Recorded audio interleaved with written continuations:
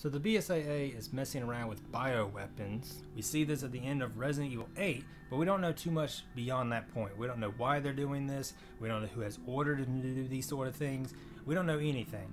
But that's what I want to make this video on is to speculate who I think is behind all this and why they're doing it. Now, Capcom could be going in a completely different direction come Resident Evil 9. They could introduce a new character, and that's the one who is behind all of this, and that wouldn't surprise me.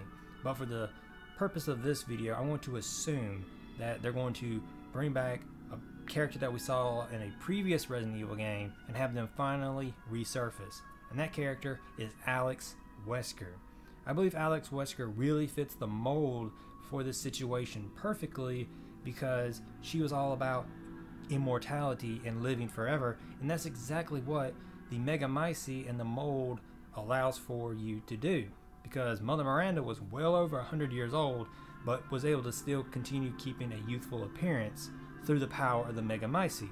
So that's definitely something that Alex Wesker would want to get her hands on.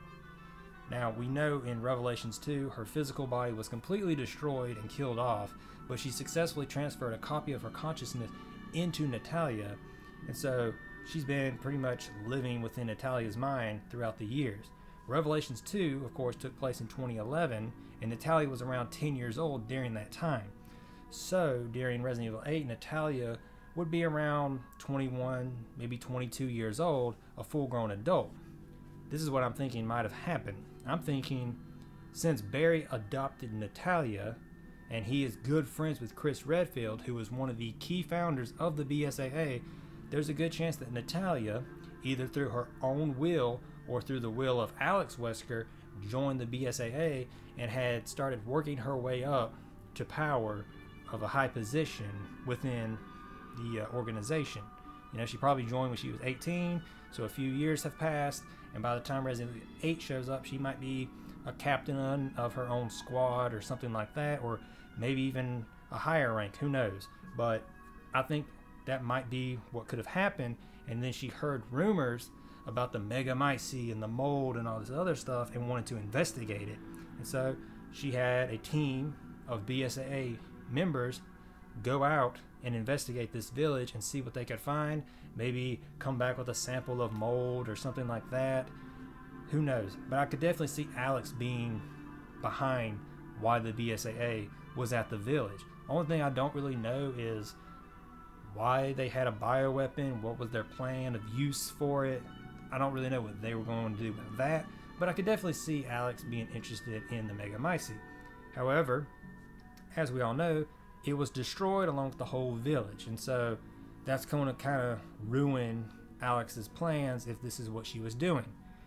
But like I said in a, another video, I do think that Rose Winters is essentially a Mega Megamycete. Like I think she has pretty much all the powers that a Mega Megamycete had stored in it. And so, if that's the case, um, Alex Wesker would be very interested in capturing Rose Winters and maybe even transferring her consciousness from Natalia's mind into Rose Winters' mind.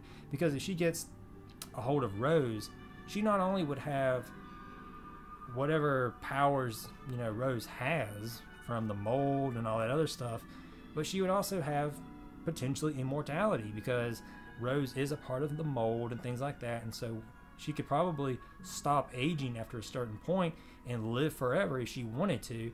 And if Alex could get that power, she'd be all about that because then she won't have to sit here and transfer her consciousness to other people's bodies because eventually Natalia's going to age and she's going to get old, and so Alex is going to have to find another person to transfer her consciousness into eventually.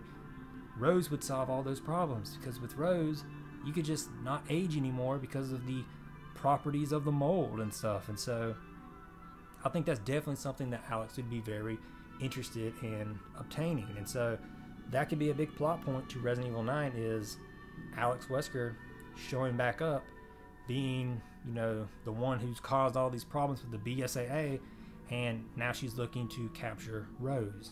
I could definitely see that being the thing. Not to mention, Resident Evil 8 in its early development was going to actually be Revelations 3. So when you think about that, it's like, okay, it was going to be Revelations 3 originally, so maybe Resident Evil 9 will connect Resident Evil Revelations 2 with it, and so we'll finally have Alex Wesker resurface after all these years because she is kind of a major villain when you think about it. I mean, she's a Wesker, but we haven't heard anything about her since 2011. Now, granted, she has been in the mind of a child, so what is she going to do? But now, Natalia, as I said, is somewhere in her 20s. So she's definitely got, you know, some power that she can use now. And so I definitely think this is some sort of plot point that they could definitely use. That's just a quick theory I wanted to make is that Alex Wesker could potentially be the one pulling the strings come Resident Evil 9. She could be the one that's manipulating the BSAA, and maybe she's after Alex or she's after Rose Winters to obtain all the power that she has stored inside of her. I think it'd be a very interesting plot to go with. And if she does show up, does that mean Barry will show up? Will Claire show up to finish her off since that's sort of their thing? It's Alex Wesker, where Albert Wesker was Chris's thing. Who knows? Lots of cool things that could happen with that, but that's the video I wanted to make. I'm going to end it here, and I will see you all on the next one.